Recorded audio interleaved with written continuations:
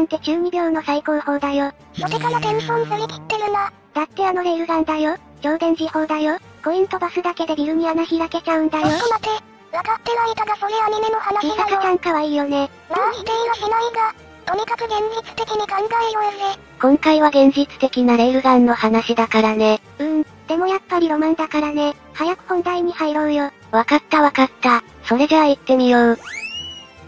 まずそもそもレールガンとは、従来の火砲のように策略の力で砲弾を発射するものではなく、物理学でいうローレンツ力、要は電磁気の力で砲弾を発射する近未来の兵器として、各国で研究が進められてきたものなんだ。レールガンの予備知識に関してはバッチリだよ。外伝までしっかり主張済みだからね。知識の出所がアニメってのがお前らしいな。でも実際、一足早く SF やアニメの世界では最先端の軍事兵器として描かれることもあったけど、現実の世界では実用化は遠く、実際に軍隊が使用するレベルに到達はしていない模様なんだよね。え、そうなの？あからさまに落ち込むなよ。世界各国の軍隊においてレールガンの実用化に対する意見は様々だが、日本では2021年8月末に公表された令和4年度防衛予算の概算要求にも同内容の研究が記載されており、将来的な投資を行う方向にあるよ。日本の防衛省ではレールガンの運用を、自国の水上戦闘艦に向けて発射される敵の極超音速対艦ミサイルの対空迎撃に用いることであったけど、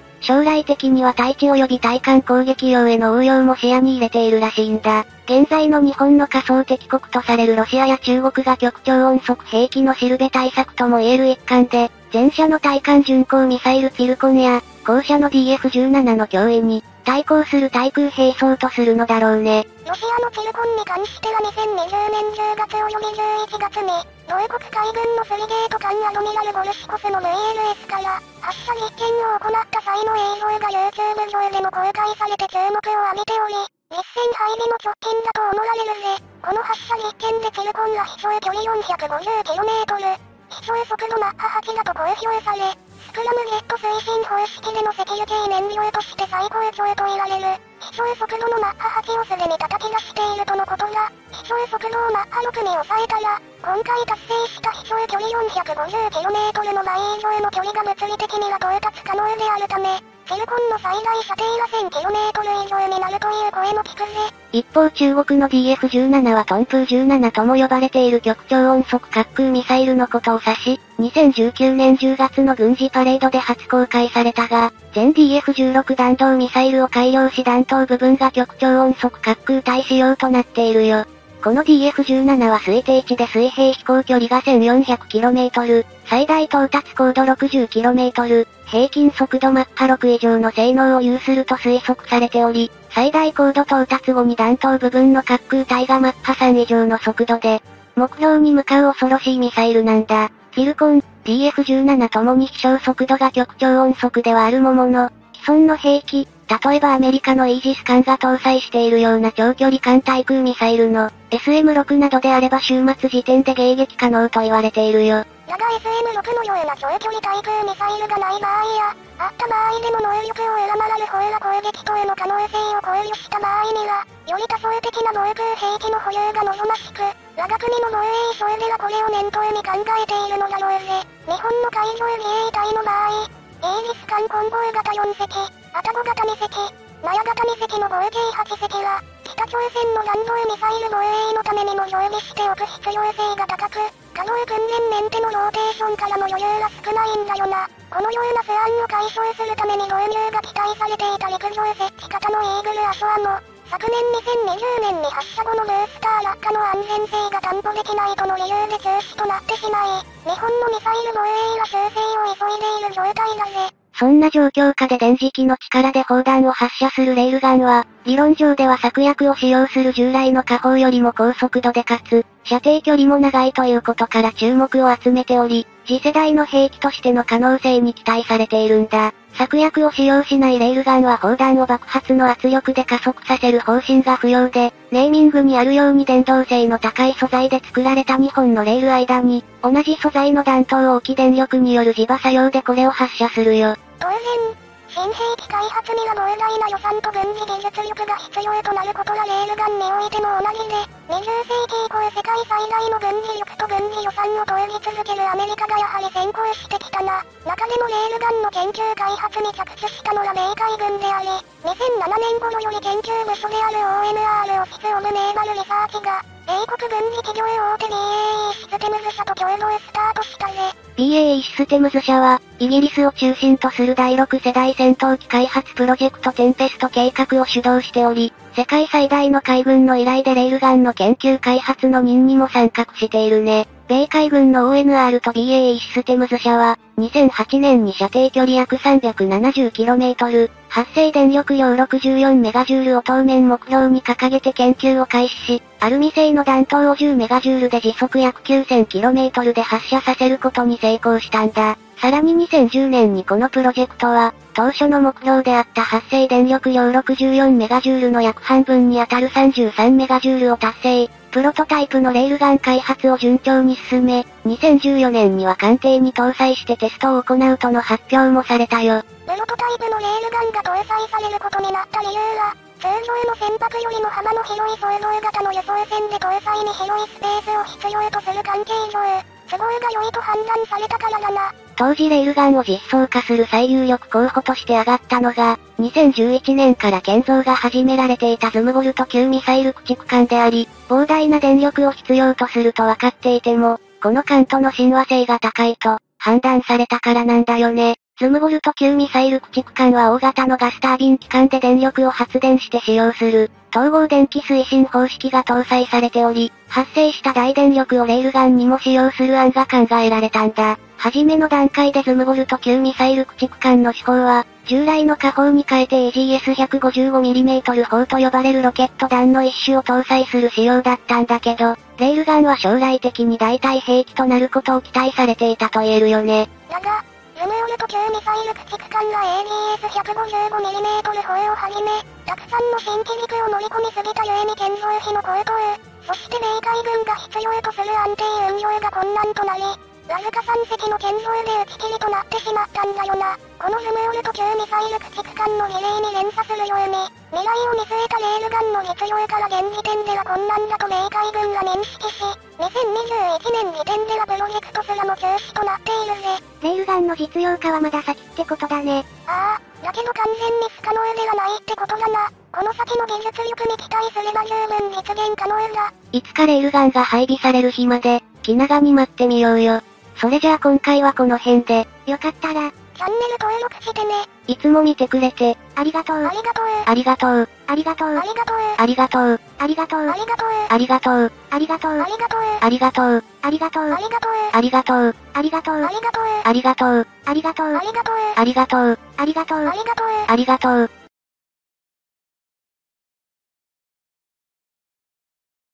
日本が立地する極東アジアは、世界有数の軍事力を有する国々が対立関係にある世界的にも毛地域だよね。日本にとっての主な対立国は中国と韓国になるのかな？北朝鮮も外せないよな。何にせよ、総じて過激なスタイルは否めないぜ。だからこそ、日本も比例して軍備を整える必要が出てきちゃうもんね。本当にそうだよね。さて今回は上述した部分を踏まえて、日本の最新鋭護衛艦最上型多機能護衛艦について解説していくよ。それじゃあ行ってみよう。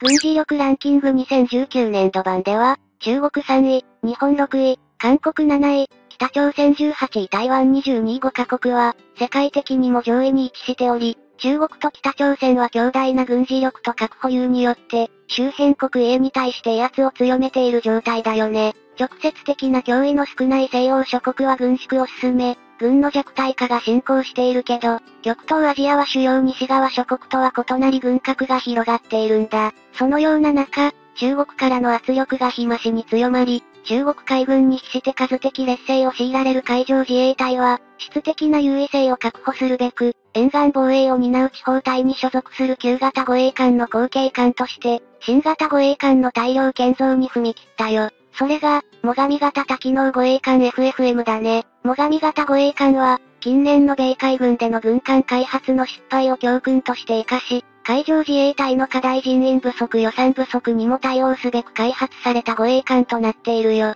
米軍において、低コストかつ多目的に運用可能な軍艦として、LCS 沿海域戦闘艦が開発されたんだけど、LCS はフリーダム級とインディペンデンス級の2種が建造され、この艦は、多種多様な任務を遂行できるように複数の装備をモジュール化総会装備対水上戦装備対潜水艦船装備し、任務に応じてモジュールを付け替えることで、5つの艦で様々な任務に対応しようとしたんだ。これが成功すれば、総会艦などの専用艦を廃止することでコスト削減につながり、5つの艦種で多様な任務を遂行することが可能となることで、戦力の柔軟な運用が可能となるはずだぜ。この LCS の運用思想は、中小国規模の遥かに格下の軍隊に対応する場合やテロリスト相手の不正規戦闘など、低強度紛争への対応を主眼としたものだったけど、2010年代以降、実際には、ロシア軍の復権、中国軍の台頭により、正規軍同士の公共度紛争への対応力が問われることとなり、満載排水量が3000トン前後の小型で貧弱な武装した持たない LCS は、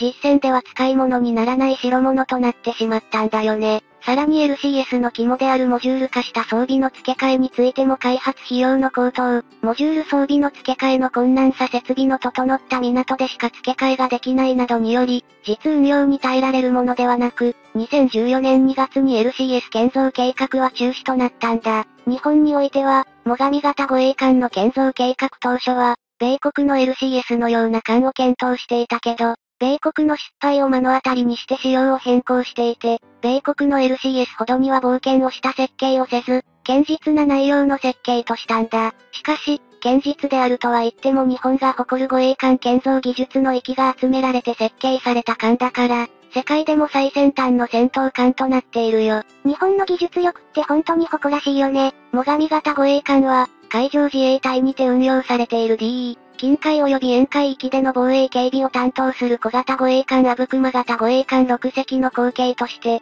基準排水量3000トンクラスの護衛艦として計画がスタートしており、既存の DE よりも多様な任務に対応可能なようにコンパクトでありながらも、従来の護衛艦にはなかった多機能性に重きを置かれており、これまで使用していた艦式号の D イコールデストロイヤー駆逐艦対戦対空対水上戦闘が可能な、中型から大型戦闘艦を完せず、新たに FFM という F イコールフライゲートイコールフリゲート艦対戦防空能力を有する、揚陸部隊や商船弾頭の護衛を任務とする中型から小型戦闘艦を艦する、今までにない新しい護衛艦として誕生したんだ。最上型護衛艦は、平成30年度中期防衛力整備計画31中期防に2隻の建造が承認され、それ以後毎年2隻ずつ建造されていき、予定では、地方隊に所属する阿武隈型護衛艦及び朝霧型護衛艦をすべて代替するために22隻の建造を予定しているよ。そして、一番艦のタイプシップ最上は、三菱重工業長崎造船所において、2022年3月に偽装が終了して収益する予定となっているみたい。この F を関する艦式号が付与された護衛艦を海上自衛隊が保有するのは、戦後米海軍から貸与されたタコマ級フリゲート艦を元として運用された、姿護衛艦が除籍された1972年3月以来、50年ぶりの出来事となるぜ。この最上型護衛艦は、基準排水量3900トン満載排水量5500トン、全長133.0メートル、全幅16.3メートルと比較的コンパクトな艦隊となっており、燃費効率の高い CODAG 方式による機関を採用して最大出力7万馬力を有し、最大速力は30ノットとなっているよ。建造費については、1隻あたり約460億円で、通常の護衛艦の建造費の3分の2となっているんだ。日本は技術力は確かなものだけど、その分コストがかかっちゃうのがネックだからね。その辺を課題として取り組んでいけば、文句なしで世界トップクラスになるよ。比較として、最新の汎用護衛艦である朝日型護衛艦2018年収益のスペックとしては、基準排水量5100トン満載排水量6800トン、全長151メートル、全幅18.3メートル、となっており、一回り以上小型の艦隊となっているね。建造費用も701億円であり、最上型は朝日型の約66%の費用で建造されたことになるんだ。なお、1988年に収益した朝霧型汎用護衛艦の満載排水量は4900トンであり、現在建造が進む FFM 最上型護衛艦よりも汎用護衛艦でありながら小型な艦隊となっていたんだ。これは、現用の汎用護衛艦は高性能な機器や武装を多数装備することを可能とするために大型化してしまったことが要因であり、汎用護衛艦の大型化によるコスト高が新たに FFM という艦種を生み出した要因の一つでもあるよ。最上型護衛艦の外観上の特徴としては、ステルスマストが採用されていることであり、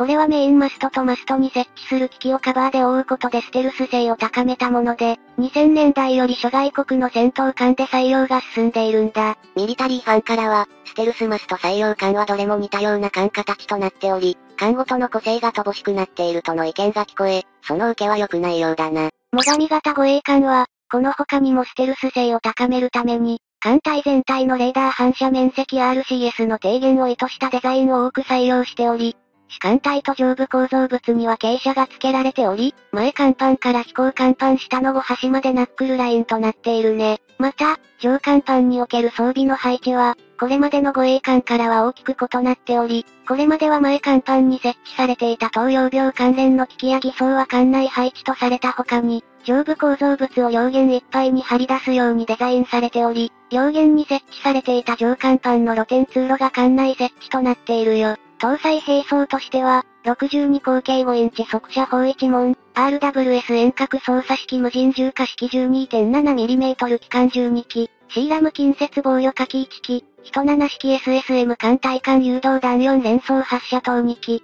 324mm3 連装単魚雷発射管2機となっており、後日装備予定として、マーク 41VLS16 セルを1機搭載が予定されているみたい。VLS が後日装備扱いとなったのは、建造時には搭載予定の国産の新型アスロックが完成していなかったため、新型アスロックが完成次第、VLS を装備することとしたんだ。また、朝日型護衛艦より採用された、複数の艦で共同して潜水艦を探知する機能であるバイスタティックオペレーションが可能となっており、従来探知が困難であったステルス性を有する潜水艦についても、その探知能力を飛躍的に向上させているぜ。艦載機としては、SH60 系哨戒ヘリが1機搭載可能となっており、対水上対潜水艦戦闘に主眼を置きつつ、対空戦闘能力は艦載砲及び近接防御火器に依存した限定的なものになっているよ。対空戦闘能力が最小限となっているのは、同艦は日本沿岸部の防衛及び警備で使用することを想定した艦であるため、敵航空戦力の迎撃については、航空自衛隊の防空能力に任せた方が理にかなっているということであると思われるね。そして、他の護衛艦にはない最上型独自の特徴として、大気来戦能力を有していることなんだ。そのため、現在海上自衛隊が進めている、総会部隊の削減によって生じた大気来戦能力の低下を最上型護衛艦にて保管することを目指したものだね。最上型が有する大気来戦装備は、大気雷戦ソナーシステムの99911が搭載され、機雷の排除には、無人機雷排除システム水上無人機 USV と機雷捜索用の無人機 UUV、栄光型総会具を使用することとなっており、安全かつ確実に機雷を排除できるよう最新の装備が搭載されることになっているよ。また、この機雷捜索用の無人機 UUV は、自立型水中構想式機雷探知機 OZZ5 が採用されており、制御は自立駆動となっており、これまでよりも広範囲の捜索が可能になっているほか、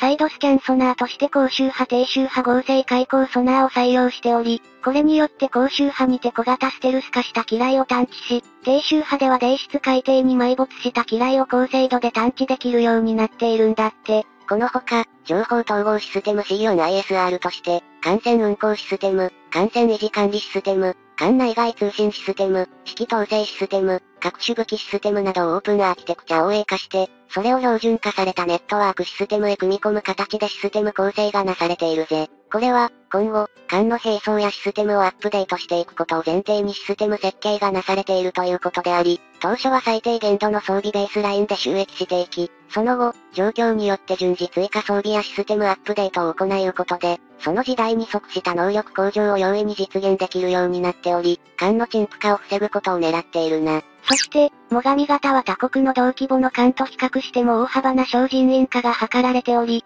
定員は90人となっているんだって。また、女性専用区間も設けられており、慢性的な人員不足に悩まされている海上自衛隊にとっては非常に有用な艦となっているってわけ。さらに乗組員もクルー制を採用しており、3隻に4組のクルーを配置することで、1組を休養に当てたとしても残り2組が訓練及び運用に当たることで、艦の運用効率を高めつつ、確実に艦の整備も実施できるとされているよ。機能性はもちろんだけど、乗組員のことまで考えて、細かい部分にまで気を使っているのが日本らしいよね。今回の最上型での精進化、省力化、コスト低減などは、米国の LCS での取り組みを日本版にアレンジして試しているという見方もあるんだ。米海軍では LCS の価格高騰、能力不足によりその取り組みは失敗に終わったけど、米軍とは違い、近海防衛任務を主とする最上型であれば、LCS のコンセプトに合致する可能性もあるため、最上型の今後に注目が集まっているよ。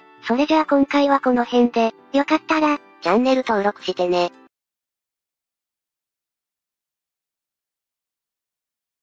現在、日本主導で開発が進む次期戦闘機開発計画については、軍事マニアの間では外せない話題だよね。2035年の配備開始をめどに F2 戦闘機の後継機、F3 の開発が進んでいるね。かつて、日本の戦闘機開発で最もネックとなっていたのは、ジェットエンジンの開発だったが、今では IHI 社が牽引して開発に尽力しているみたいだぜ。待するなっていうのが無理な話だよね。さて今回はそんな日本独自の最高技術の粋を集めたジェットエンジンについて解説していくよ。それじゃあ行ってみよう。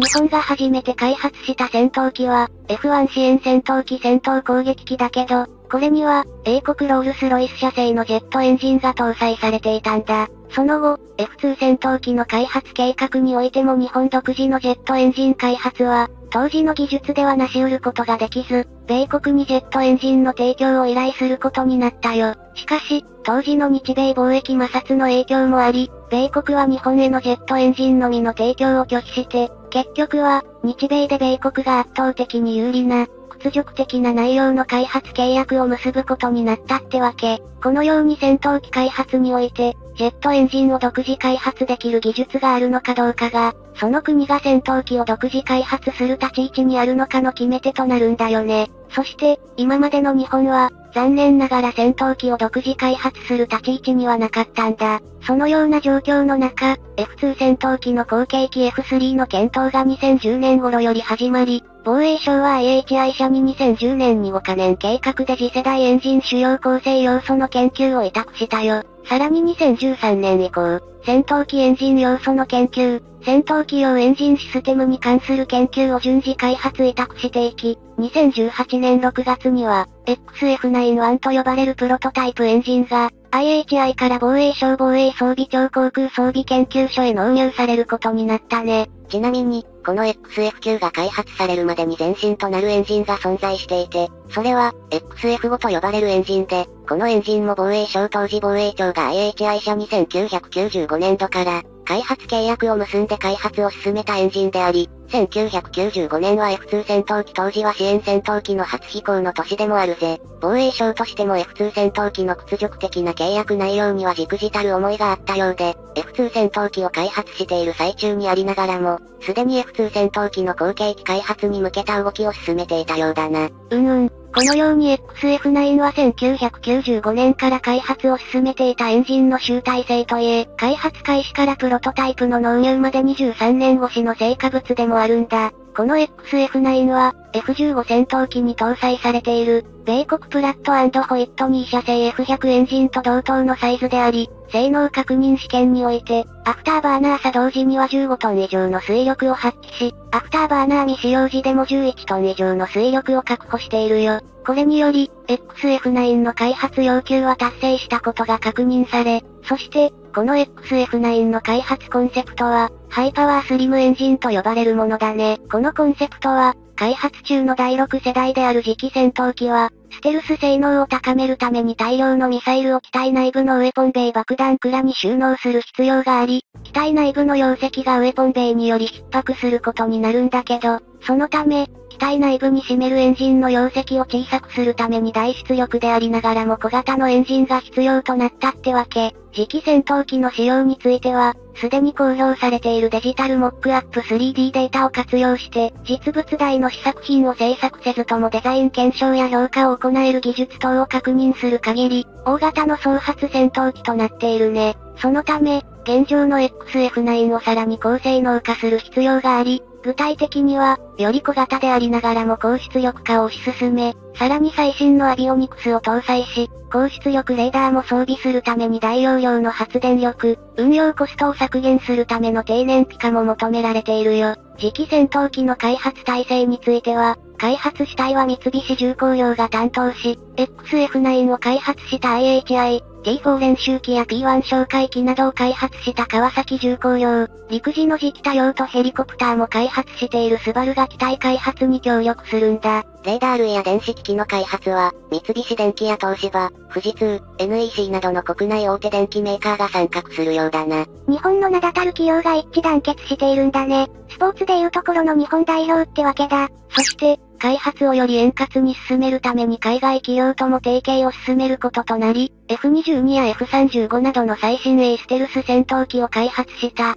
米国のロッキード・マーティン社が選定されているよ。ただし、このロッキード・マーティン社には日本はかなりの因縁を持っているんだよね。過去、田中元総理大臣が辞任する原因となったロッキード事件を起こした企業だし、ロッキード・マーティン社製 F16 戦闘機をベースとした F2 戦闘機の開発で、日本に不平等契約を結ばせ、日本が手出しできないブラックボックスだらけの F2 戦闘機を作り上げた因縁深い企業なんだ。この F2 戦闘機の開発には、日本は巨額の予算を計上したんだけど、契約で、日本が得た技術は米国に全て開示する義務が課せられた反面、米国の技術開示は局一部に止まったんだよね。巨額の血税を投入して得られた技術は、特に根幹に関わる技術で得られたものは皆無に等しいものだったみたい。そのため、今回の次期戦闘機開発でも技術提携するのがロッキード・マーティン社となったことには、不安の声も多く聞こえているんだけど、当然、そんなことは当事者であった防衛省も痛いほどわかっているはずだよ。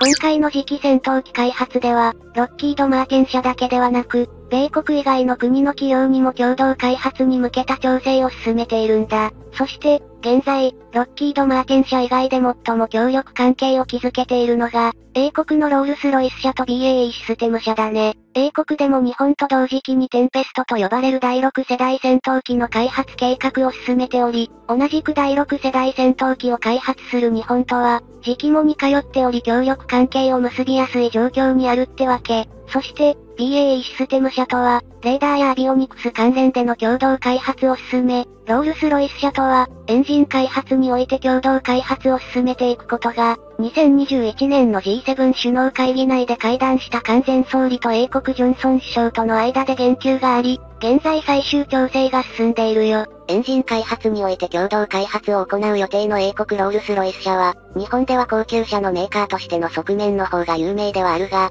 世界有数のジェットエンジンの開発製造メーカーでもあるぜ。そして、日本政府はこのロールスロイス社との共同開発は、技術支援を主軸としたものではなく、日英で共同開発したエンジンを海外へ輸出することで、エンジンコストの削減を狙っているのではないかとの憶測も流れているな。エンジン開発において世界的には後進国である日本製のネームバリューでは、他国でのセールスは難しいものがあるため、ロールスロイス社の知名度を活かして、世界へ販路を広げようというんだろうね。そうすれば、エンジンの生産数が増加するために導入コストは低減するし、保守部品の確保も容易になり、整備コストも削減できるから。財政が厳しい日本において、高性能でも高価な戦闘機は数を揃えられないもんね。だからこそ、少しでもコストダウンを図りながら、高性能でありながらも、コストパフォーマンスの優れた戦闘機を開発しなければならないってわけ。このように日本において次期戦闘機のエンジン開発は、比較的順調に進んでいるけど、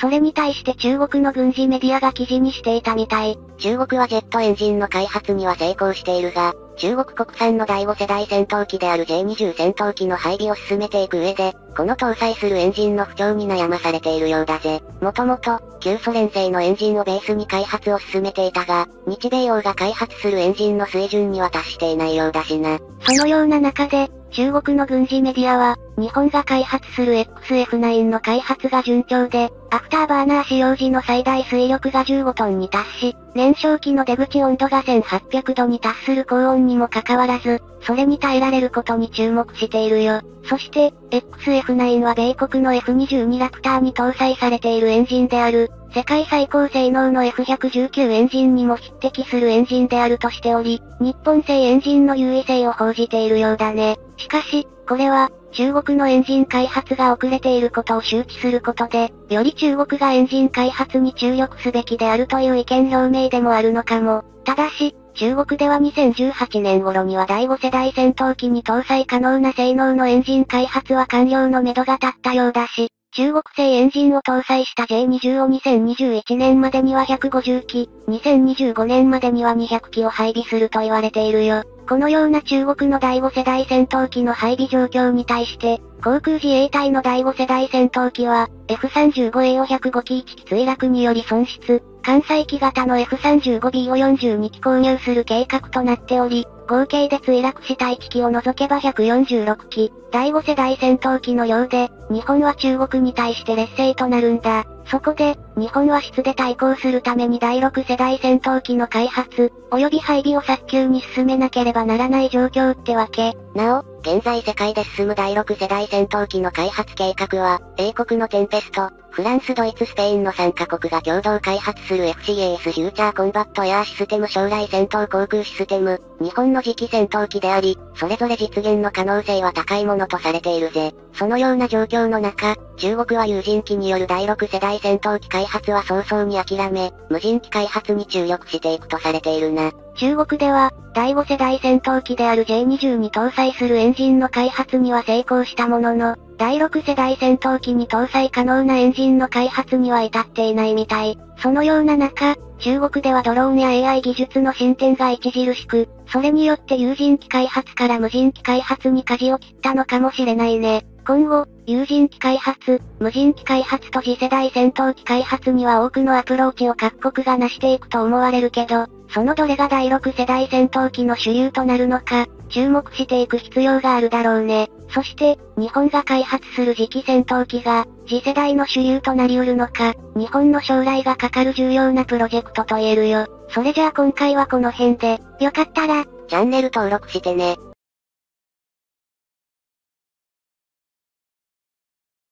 中国空軍の最新鋭戦闘機 1020J20 について、みんなは知っているかな？いわゆる第5世代に分類されるステルス戦闘機で、中国での愛称はマイティドラゴンと呼ばれ、2017年3月に運用が開始されているな。中国はドラゴンの印象が強いよね。ステルス機でドラゴンはちょっと主張が強い気もするけど。そうだな。第5世代ステルス戦闘機としては、2005年12月に運用が開始された F22 ラプター、2015年7月に実用化されたアメリカの F35B 垂直短距離離着陸型ライトニング2に次いで、世界で3番目のステルス戦闘機だったよな。その通りだね。さて今回は、そんな中国の最新鋭戦闘機 J20 について解説していくよ。それじゃあ行ってみよう。世界の第5世代戦闘機とされているのは、2022年6月現在において先ほどの3機種、F35 には派生型として通常離着陸型の A 型と関西型の C 型が追加されているの他には、2020年12月に運用が開始されたロシアのスホイ57だけなんだ。2022年3月にアメリカ太平洋軍のケネス・ウィルスバック司令官が、ミッチェル航空宇宙研究所によるインタビューの中で、F35 と J20 が遭遇したことについて語っていて、それによると、東シナ海においてアメリカ軍の F35 形式は不明が飛行中に、中国空軍の J20 と遭遇して交戦寸前の状況まで接近したことがあるとし、F35 のパイロットの報告によって J20 の性能と中国軍パイロットの連動について、想像していた以上に高いものであったとしているみたい。また、その際に付近には中国空軍の早期警戒管制機 KJ500 空警500も飛行していて、それらの間で統制の取れた行動を見せていたことに驚いたとして、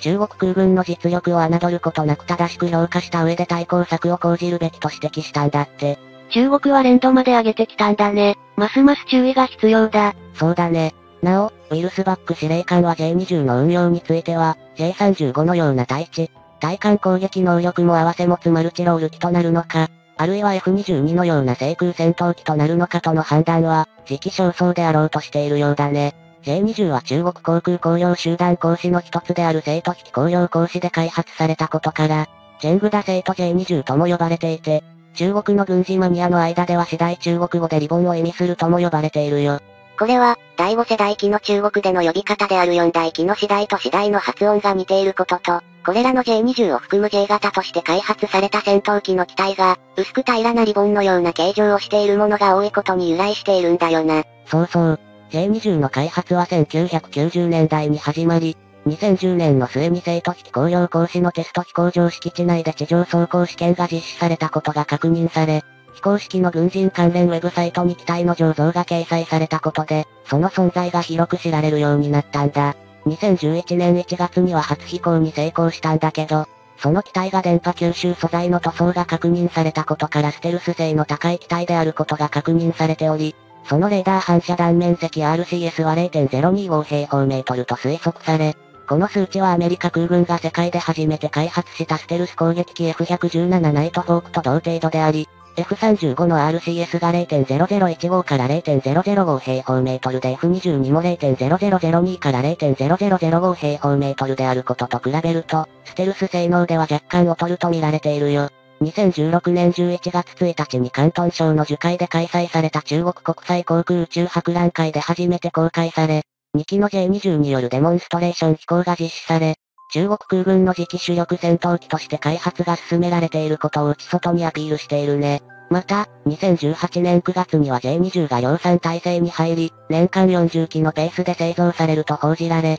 2019年から東部戦区に配備が始まったとされているよ。なお、第5世代ステルス戦闘機では世界で初めて複座型が製作されていて、後席の乗員はロイヤルウィングマンのような無人航空機との編隊を組んだ際の完成を行うものと見られているぜ。J20 の初言って把握できてるの？現時点で推定されている J20 の初言は、全長21.2メートル全幅13.01メートル全高4.69メートル空虚重量1万7000キログラム。最大離陸重量3万 6300kg 実用上昇限度2万メートル最高速度 2500km 毎時最大航続距離 5900km とされ、総発のエンジンは初期型においては、ロシア製デスホイ27フランカーに搭載されている。サプールン AL31FM に最大水力 145kN を搭載していたんだけど、2021年9月に行われた航空ショーで国産エンジンの WS10C 最大水力 147kN が搭載された J20 を飛行させ、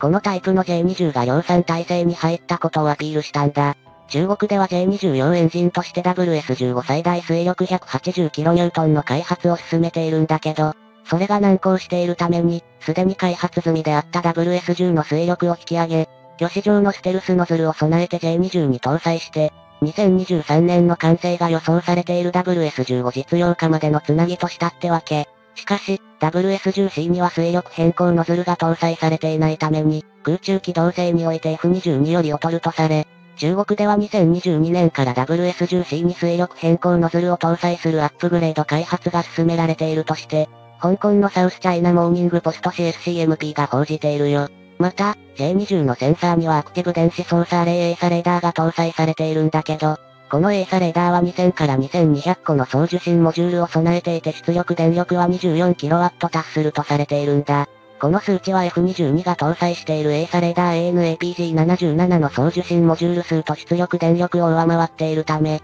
J20 に搭載されている A サレーダーは ANAPG77 より探知距離が長いのではないかと見られているよ。また J20 には、F35 に搭載されている ANA937EODAS によく似た分散開口システム DAS が採用されており、機体の各部に複数のセンサーを備えているほか、機種の下面には F35 と同様に電子工学照準システム EOTS を備えているんだけど、F35 の EOTS86 が空対空空対地赤外線操作追尾機能を結合しているのに対して、J20 の EOTS は空対空目標の補足標準に比重を置いていると見られているね。ちなみに、J20 の1機あたりのコストは1億1億から2000万ドル約132から160億円と言われているが、2000年代の初頭では4億5000から5億元約88から98億円とされていたもので、それは開発過程において大幅にコストが上昇したことを意味しており、推定されている研究開発費は約300億元約6000億円以上であろうと見られているぜ。F35 のコストは、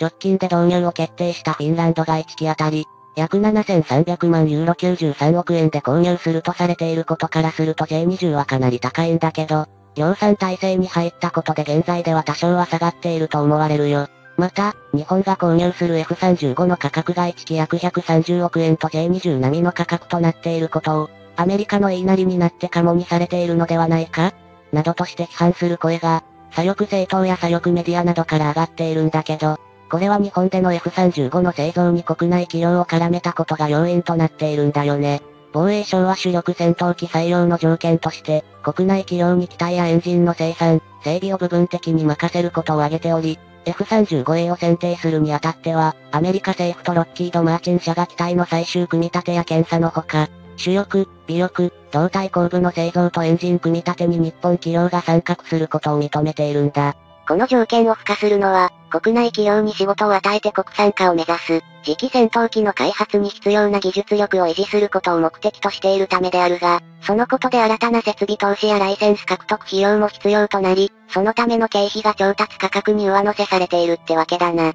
そういうこと。そして、J20 の研究開発費が約300億元約6000億円以上とされていることに関して、2035年から退役が始まる F2 戦闘機の後継機種として防衛省が開発を進めている、航空自衛隊の次期戦闘機の研究開発費が1兆4000億円と見積もられていることに批判が上がっているよ。しかしながら、これについては過去に多数の国産戦闘機を開発してきた中国でさえ、第5世代戦闘機の開発に6000億円以上かかっているんだから、F16 ファイティングファルコンを母体として F2 を開発した経験しかない日本が、次世代第6世代とされる戦闘機を開発するのだから当然とする見方があるんだ。自衛隊の装備品を全て国産化して、調達を世界情勢に左右されないようにすることは国防上必須であり、特に高額な装備品である戦闘機の国産開発製造は重要で、国内企業の防衛産業離れが問題視されている現状を踏まえ、ここは多額の投資によって国内企業の防衛産業参画を促しておくべきだろうね。それじゃあ今回はこの辺で。よかったら、チャンネル登録してね。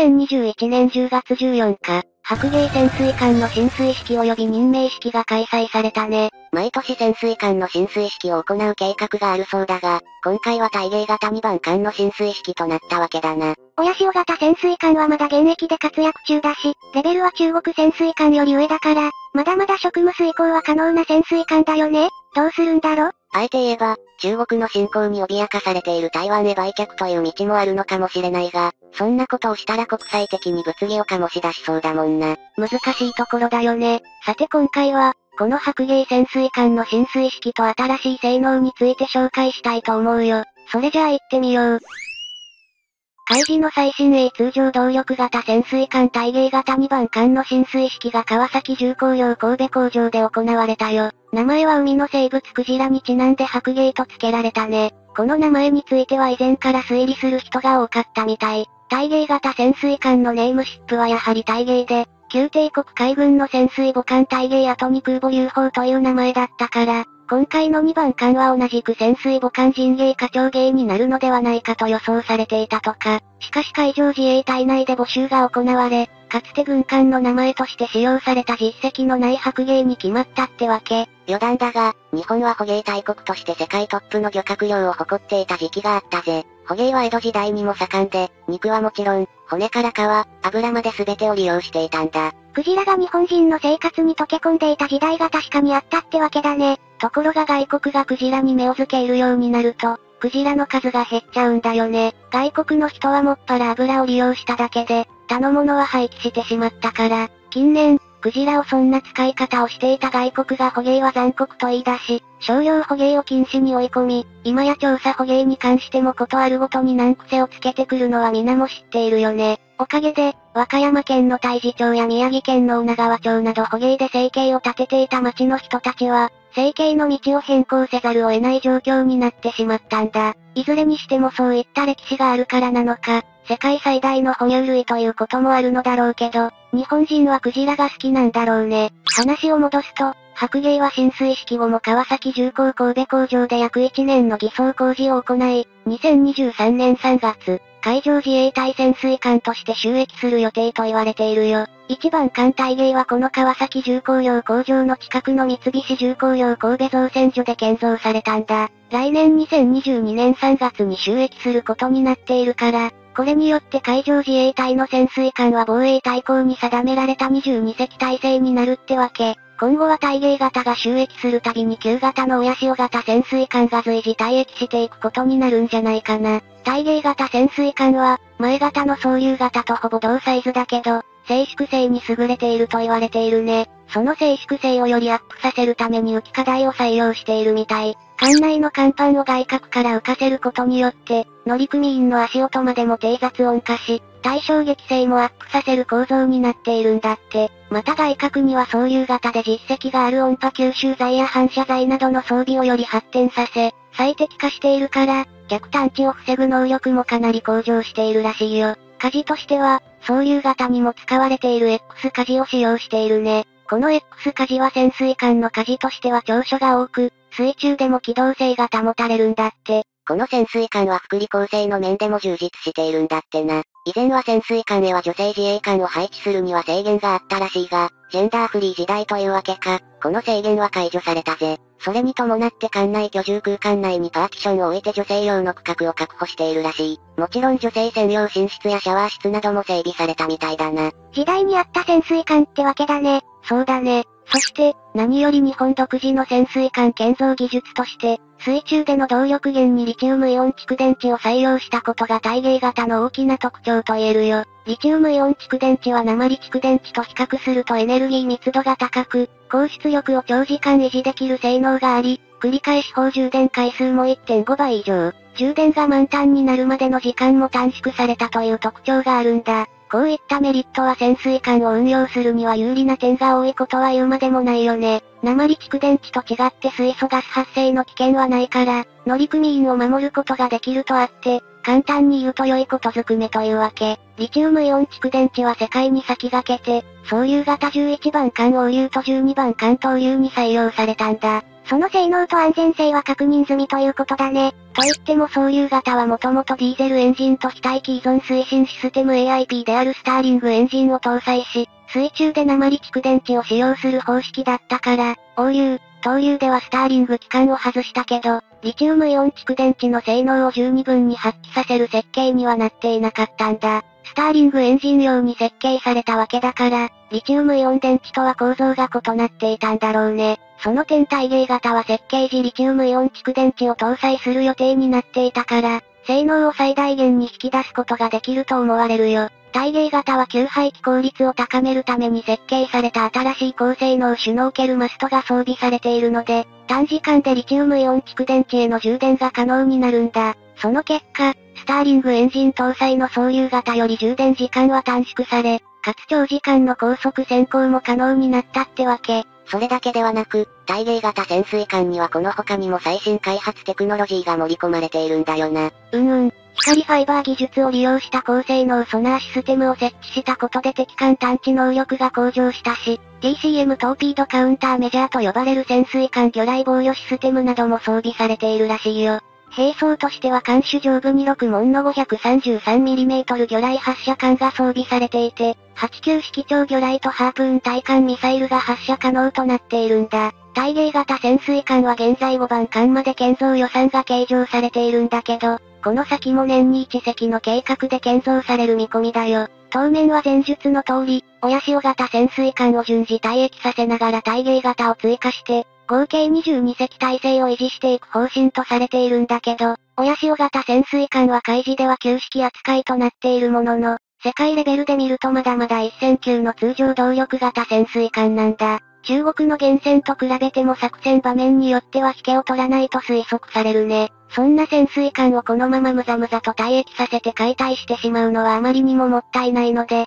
予算が許すのなら稼働可能の状態で保存しておいて、一朝有事の際には現役復帰措置を検討してはどうかという意見があるみたい。または、他国に渡せない機密部分のシステムやパーツを無難なものに置き換えて、東南アジアやアフリカ諸国など自力で潜水艦を開発建造することができない国に輸出して、外貨を稼ぎ少しでも新艦建造経費の足しにするという柔軟な対応も検討しておくべきではないかと思われるよ。おそらく親潮型潜水艦は、某隣国の信頼性が怪しい潜水艦よりは高性能だろうから、軍備をこれから備えようとしている後発国からは我も我もと大モテになるに違いないんじゃないかな？それじゃあ今回はこの辺で、よかったら、チャンネル登録してね。ここからは僕の雑学の時間だよ。待ってました。今日のテーマはみんなもよく知っているお茶についてだよ。確かにお茶って毎日飲むよね。うんうん。お茶には様々な種類があるよね。代表的なので言うと、紅茶緑茶ウーロン茶だな。その茶葉なんだけど、実は同じ茶葉からできているんだ。そ、そうなの？そのお茶たちは何が違うのかな？実は発酵度の違いで分けられるんだ。緑茶は不発酵茶、ウーロン茶は半発酵茶、紅茶は発酵茶に分けられるんだ。発酵具合が違うと、味や香り、色以外にも、お茶を入れた際に抽出される成分も変わってくるらしいよ。なるほど、だから味も香りも変わるんだな。ちなみにほうじ茶は何のお茶の種類だと思う？うーん、色的に言ったら、ウーロン茶かな？実は、緑茶の種類なんだ。え、そうなの？なら発酵してないんだね。それがね、全く発酵させないんだ。全く、わからなくなってきたぜ。まあまあ、そう言わず最後まで聞いてくれよ。その製造方法は、焙煎しているんだ。ふーん、なんかお茶によって色々な方法で作られるなんてお茶も深いね。そうなんだ。なら今日の雑学は終わりだよ。また見てね。おい、お茶。何言ってんだよ。